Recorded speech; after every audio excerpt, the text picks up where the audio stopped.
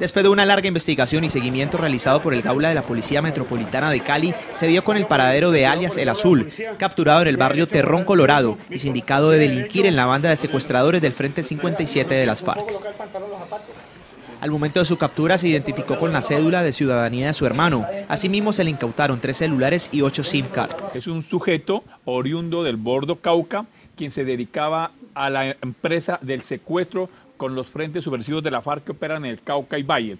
Este sujeto se le atribuyen más de cuatro secuestros extorsivos. Este sujeto eh, tiene varias órdenes de, captura, entre esas de un juzgado especializado y de un juzgado eh, municipal, con, en los dos se adelanta las causas criminales porque este sujeto era el encargado de secuestrar y entregarle a la subversión armada los secuestrados con el fin de cobrar eh, grandes sumas de dinero.